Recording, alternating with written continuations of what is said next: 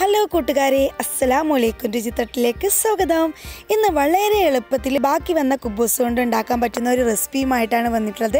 ഇത് കുട്ടികൾക്കൊക്കെ എളുപ്പത്തിൽ ഉണ്ടാക്കി കൊടുക്കാൻ പറ്റുന്ന ഒരു റെസിപ്പിയാണ്. എങ്ങനെയാണ് ഉണ്ടാക്കാൻ നോക്കാം. അതിനായിട്ട് ഒരു ചീനച്ചട്ടി എടുത്തിട്ടുണ്ട്.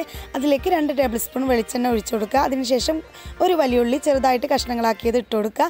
കുറച്ച് ഉപ്പും കൂടി ചേർത്ത് കൊടുക്കണം കേട്ടോ. അതിനുശേഷം ഒന്ന് വാട്ടിയെടുക്കുന്നുണ്ട്. ഗോൾഡൻ ബ്രൗൺ കളറാവുന്നത് വരെ വാട്ടൊന്നും വേണ്ട. ഒന്ന് ചെറുതായിട്ടൊന്ന് വാടി കിട്ടിയതിന് ശേഷം അതിലേക്ക് ഒരു പച്ചമുളകും കുറച്ച് ഇഞ്ചി വെളുത്തുള്ളി പേസ്റ്റ് ഒരു അര ടീസ്പൂണോളം ഇഞ്ചി വെളുത്തുള്ളി പേസ്റ്റും കൂടി ഇട്ടതിന് ശേഷം നന്നായിട്ടൊന്ന് വാട്ടിയെടുക്കുക.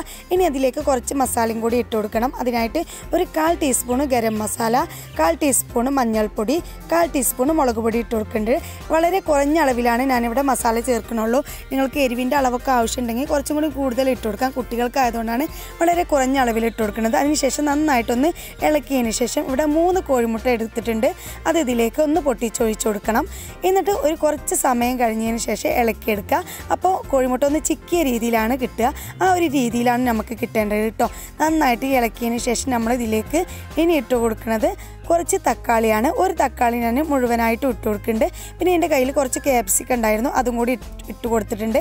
ക്യാപ്സിക്കം ഓപ്ഷണലാണ് നിങ്ങളുടെ കയ്യിലുണ്ടെങ്കിൽ മാത്രം ഇട്ട് കൊടുത്താൽ മതി കേട്ടോ. അതിന് ശേഷം ഞാൻ ഇതിലേക്ക് കുബൂസ് ചെറിയ കഷ്ണങ്ങളാക്കിയത് ഇട്ട് കൊടുത്തിട്ടുണ്ടായിരുന്നു. ആ വീഡിയോ കട്ടായതാണ് അതിനുശേഷം വേപ്പിലയും കൂടി മൂടി അതിനുശേഷം ഒരു അഞ്ച് മിനിറ്റ് മൂടി വെച്ച ശേഷം തുറന്ന് വെച്ചതാണ്. അപ്പോൾ അടിപൊളി കൊത്തു കുബൂസ് റെഡി ആയിട്ടുണ്ട്. എല്ലാവരും ഒന്ന് ട്രൈ ചെയ്ത് നോക്കണം. അടിപൊളി രുചിയാണ്. എന്തായാലും ട്രൈ ചെയ്ത് നോക്കേണ്ട ഒരു റെസിപ്പി കൂടിയാണ്. നിങ്ങൾക്ക് തീർച്ചയായിട്ടും ഇഷ്ടപ്പെടും. ഇഷ്ടപ്പെടുകയാണെങ്കിൽ സബ്സ്ക്രൈബ് ചെയ്യാനും ലൈക്ക് ചെയ്യാനും മറക്കരുത് കേട്ടോ. ഓക്കെ